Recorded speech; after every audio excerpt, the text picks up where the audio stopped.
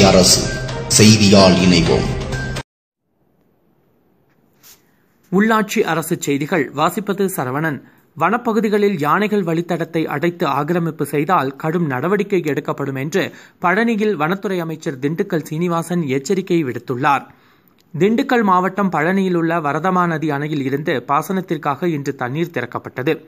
தண்ணீரை திறந்து வைத்த வனத்துறை அமைச்சர் திண்டுக்கல் சீனிவாசன் தெரிவித்ததாவது பழனி வரதமா நதி அணையில் இருந்து முதலமைச்சரின் உத்தரவுப்படி இன்று முதல் வினாடிக்கு இருபது கன அடி வீதம் தண்ணீர் திறக்கப்படுவதாகவும் எதிர்வரும் நூத்தி முப்பது நாட்களுக்கு அணையில் உள்ள தண்ணீரின் இருப்பையும் அணைக்கு வரும் தண்ணீரின் வரத்தையும் பொறுத்து தண்ணீர் திறந்துவிடப்படும் என்றும் தெரிவித்தார்.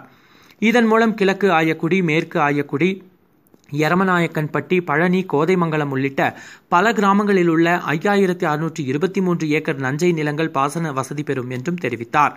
வனப்பகுதிகளில் உள்ள யானைகளின் வழித்தடங்களை அடைத்து ஆக்கிரமித்து உள்ளவர்கள் மீது கடும் நடவடிக்கை எடுக்கப்படும் என்றும் நீலமலை கோட்டை பகுதியில் உள்ள எழுநூறு ஏக்கர்களில் ஆக்கிரமிப்பில் உள்ள நானூறு ஏக்கர் ஆக்கிரமிப்பு நிலங்களை மீட்டு மீண்டும் வனத்துறையிடம் ஒப்படைக்கப்பட்டுள்ளதாகவும் தெரிவித்தார். வனப்பகுதி ஆக்கிரமிப்பவர்கள் எதிர்க்கட்சி ஆளும் கட்சி என யாராக இருந்தாலும் அவர்கள் மீது கடும் நடவடிக்கை எடுக்கப்படும் எனவும் எச்சரித்தார். முப்பது ஆண்டுகால கனவு திட்டமான பச்சையாறு அணை திட்டத்தை தமிழக முதலமைச்சர் எடப்பாடி பழனிசாமி கவனத்திற்கு கொண்டு சென்று அந்த திட்டத்தை நிறைவேற்ற முயற்சி செய்யப்படும் எனவும் தெரிவித்தார். அணை திறப்பு நிகழ்ச்சியில் மாவட்ட ஆட்சியர் வினை பழனி சாராட்சியர் அருண்ராஜ் வனத்துறை மற்றும் பொதுப்பணித்துறை அதிகாரிகள் உள்ளிட்ட பலர் கலந்து கொண்டனர். பழனியிலிருந்து எமது செய்தியாளர் கி. ராம்குமார்.